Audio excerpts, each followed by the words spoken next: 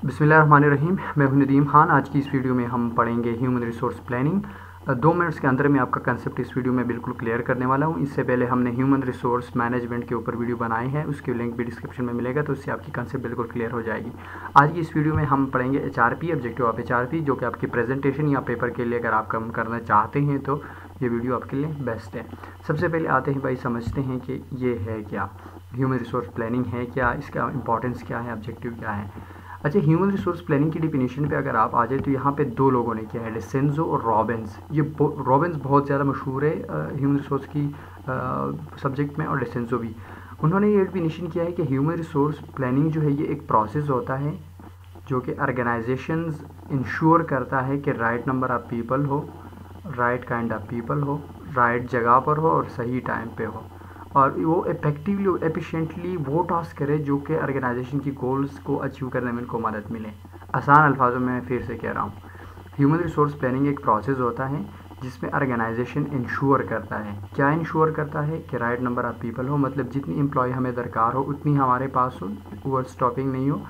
इसके अलावा at the right place हो, सही जगह पर हो, सही टाइम में हो और कैपेबल हो कि वो इफेक्टिवली और एफिशिएंट जो है वो काम करे, वो टास्क करे, जिसमें ऑर्गेनाइजेशन के गोल्स एंड ऑब्जेक्टिव जो है इसको हम अचीव करें।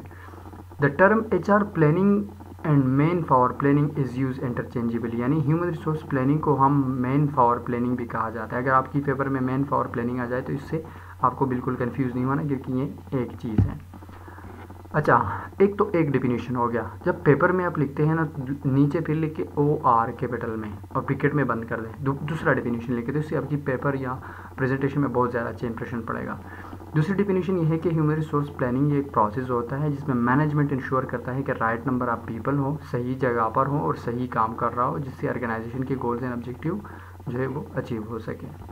ये तो हमने पहले भी इसके बारे में बात की। अब इसका ऑब्जेक्टिव क्या है? ऑब्जेक्टिव क्या है? अब मकसद क्या है? इम्पोर्टेंस क्या है? अच्छा सबसे पहले मकसद ये होता है कि इंश्योर ऑप्टिमम यानी allocate the suitable job to use H R continuously अब ह्यूमन रिसोर्स प्लानिंग का एक पहला काम ये है, ये पहले पॉइंट को मैं एक्सप्लेन कर रहा हूँ, क्योंकि ये जो है आपकी सूटेबल जॉब जो है, वो एलोकेट करें।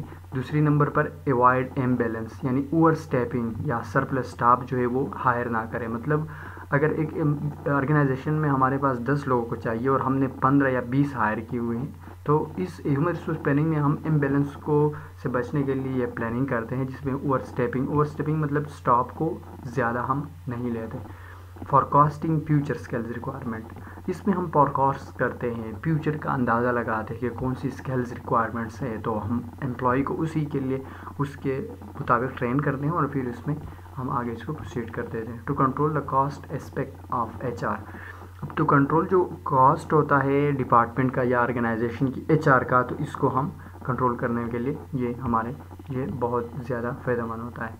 ये थी आज की वीडियो और मज़ीद वीडियो के लिए आप जो है नीचे डिस्क्रिप्शन में देख सकते हैं। Thank you so much